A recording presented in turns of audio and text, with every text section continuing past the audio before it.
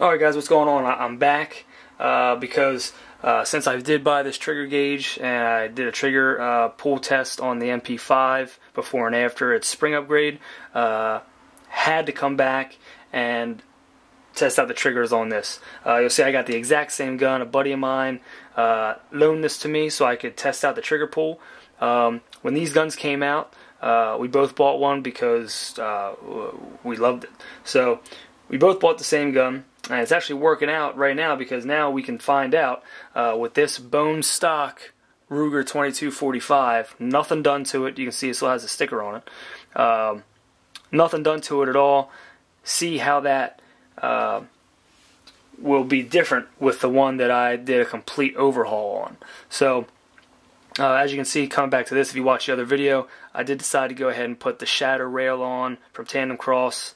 Um, better rail. Uh, so I went with that, and I, I went ahead and got the uh, the Hogue uh, finger finger grips. So this thing all all done up with the red dot on it.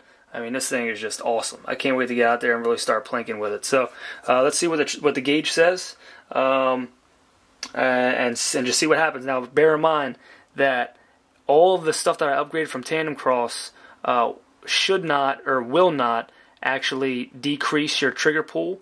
Um, they say the hammer bushing can do that, replacing that, um, because you're removing those springs and those extra pieces that require the mag to be in to uh, pull the trigger.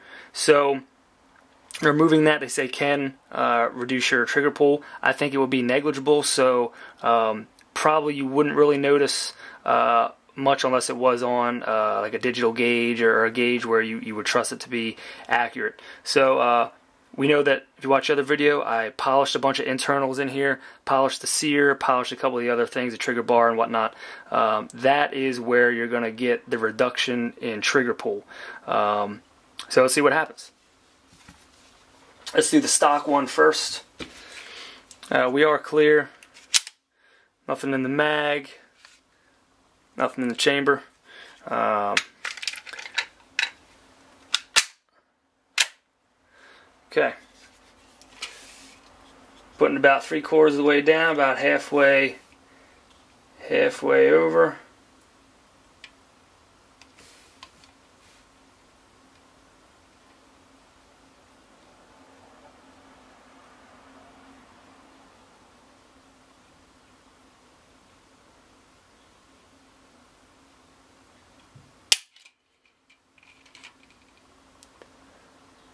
Just shy of four and a half, about four pounds, five ounces. I was just, it's right in the middle of four and six, so I'll just go six. Four pounds, six ounces.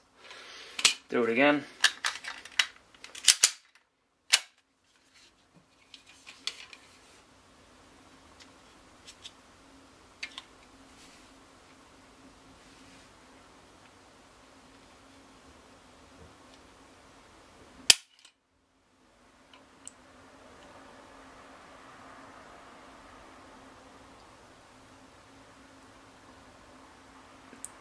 Four and a half pounds again, it looks like.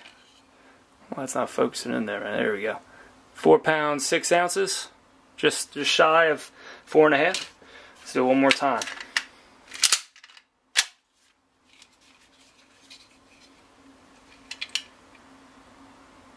The trigger isn't bad on the stock pistol. Um, and you can see from the gauge.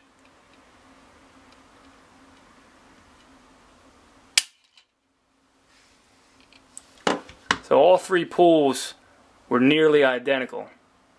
About four and a half pounds, four pounds, six ounces. So I'd say the trigger gauge is uh, accurate enough. So let's see what happens now uh, with my overhaul. Um, Alright, we are clear, magazine's out, nothing in the chamber. Alright.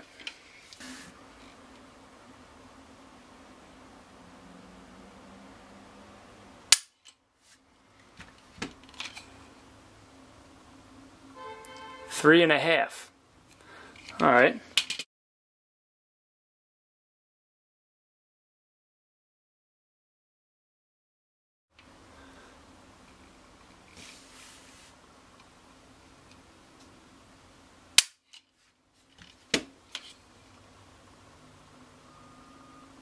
Three pounds, four ounces.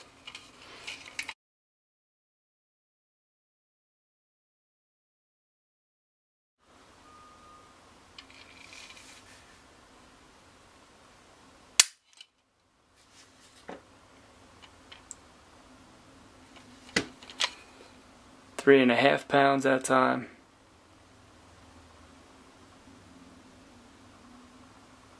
three and a half, three and a half again.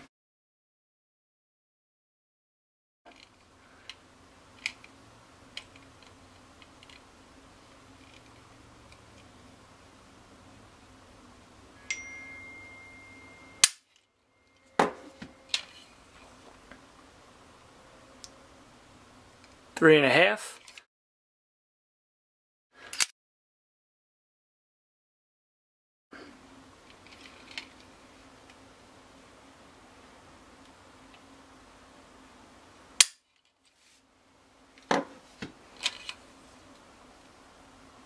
About three and a half again, three pounds, six ounces.